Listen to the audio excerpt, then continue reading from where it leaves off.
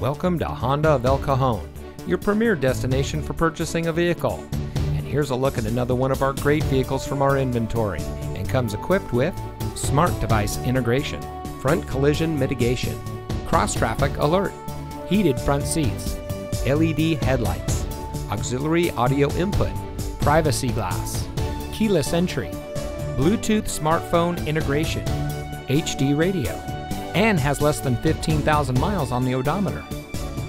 Since 1971, family owned Honda of El Cajon has been proudly serving our friends and neighbors with the best customer service in the business.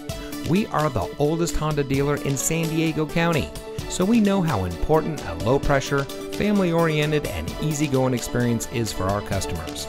Come see us today at Honda of El Cajon.